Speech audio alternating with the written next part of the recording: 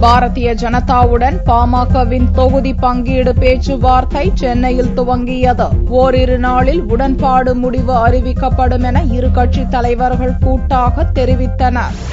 லோக்சபா தேர்தலில் பாரதிய ஜனதா கூட்டணி நீண்ட இழுபறிக்கு பின் முடிவாகியுள்ளது. பாரதிய ஜனதா கூட்டணியில் தேமுதிக பாமக மதிமுக கொங்கு நாடு மக்கள் தேசிய கட்சி ஐகேகே புதிய நிதி கட்சி ஆகியவை இடம்பெற்றுள்ளதாகவும் அதிகாரப்பூர்வ பேச்சுவார்த்தை துவங்கியிருப்பதாகவும் வியாழனன்று அறிவிப்பு வெளியானது.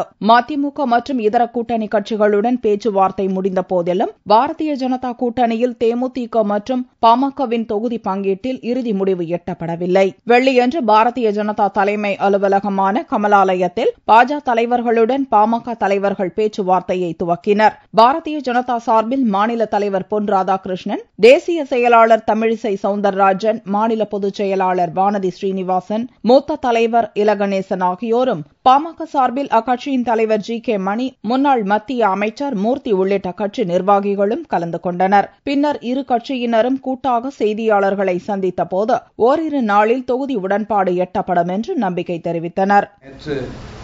பாட்டாளி மக்கள் கட்சியினுடைய தலைமை நிர்வாக குழு கூடி எடுக்கப்பட்ட முடிவின் அடிப்படையில் எங்கள் மருத்துவரையாளர்களுக்கு வழங்கப்பட்ட அதிகாரத்திற்கு இணங்க இன்று பாட்டாளி மக்கள் கட்சியின் குழு இங்கே வருகை தந்து முதல் கட்ட பேச்சுவார்த்தையை துவங்கியிருக்கிறது. இந்த பேச்சுவார்த்தை தொடர்ந்து இறுதியான முடிவெடுத்த பிறகு உங்களுக்கு முடிவு அறிவிக்கப்படும் என்ற செய்தியை தெரிவித்துக் கொள்கிறேன். தொடர்ந்து பேச்சுவார்த்தை நடக்கும்.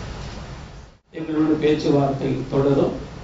தேர்தல் தேதி அறிவிக்கப்பட்டுவிட்ட காரணத்தால் இனி அதிகம் தாமதப்படுத்துவதற்கு வாய்ப்பில்லை.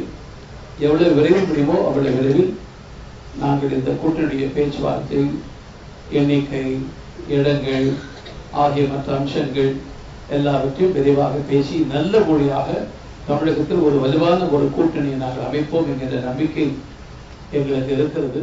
வியாழனன்று பாரதிய ஜனதாவுடன் நடத்திய பேச்சுவார்த்தையில் தாங்கள் போட்டியிட விரும்பும் தொகுதிகளை தேமுதிக முன்வைத்துள்ளதாகவும் இவற்றில் சில தொகுதிகளை பாமகவும் விரும்புவதாகவும் கூறப்படுகிறது.